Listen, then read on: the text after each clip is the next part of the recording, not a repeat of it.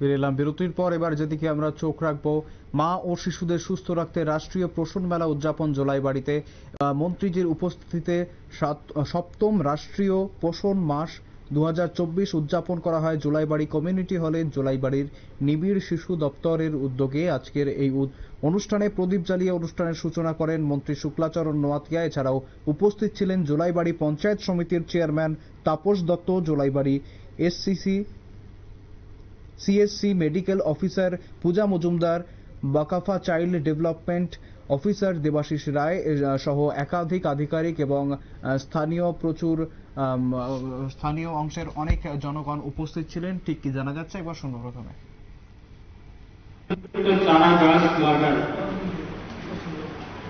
এই চারা গাছটাকে যেভাবে আমরা যত্ন করি কিসের জন্য, যে চারা গাছটা বড় গাছ যদি হয় ভালো ফল দিবে ভালো ফুল দিবে। সেরকম ভাবে আমাদের মানব জীবনের একটা মানসিকতা। আমরা দেশ পরিবারের ছেলে মেয়েকে আমরা সবাই আদর করি, ভালোবাসি। নিজ পরিবারের শিশুরাকে আমরা সবাই ভালোবাসি। যত্ন করি। আমরা যেভাবে নিজের পরিবারের শিশুরাকে যেভাবে আমরা ভালোবাসি, যত্ন করি সেরকম ভাবে অপর পরিবারের শিশুরা কেউ আমরা যত্ন করা এবং ভালোবাসা, সেটা আমাদের কর্তব্য।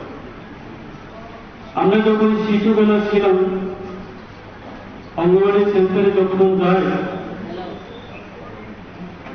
তখন কি হতো? শুধু ডালের লগে চাল মিক্স এবং সাথে ছিল সোয়াবিন আর কিছু ছিল না। আর আজকে দিনে দাঁড়িয়ে এত আইটেম আমরা দেখতে পাই। সেটা করার কারণটা কি? যে শিশুকে যাতে ভালো প্রোটিন হয়।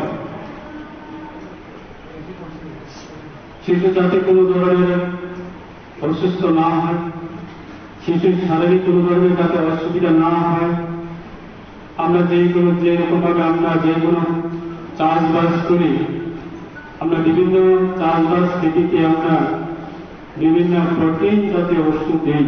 কারণ হচ্ছে যে যাতে চাষটা যাতে ভালো হয়, ফলটা যাতে ভালো দিই। সেরকম ভাবে আমাদের শিশু থেকে একটা কথা আছে। যে পরিবারে বলুন, যে সমাজে বলুন, বা যে এলাকাতে বলুন যদি অভিভাবকরা বা শিক্ষকরা যদি ভালো মানসিকতা থাকে, ওই এলাকা থেকে শিশুরা ভালো মানসিকতা, বড় হওয়ার পর্যন্ত ভালো মানসিকতা তৈরি হয়।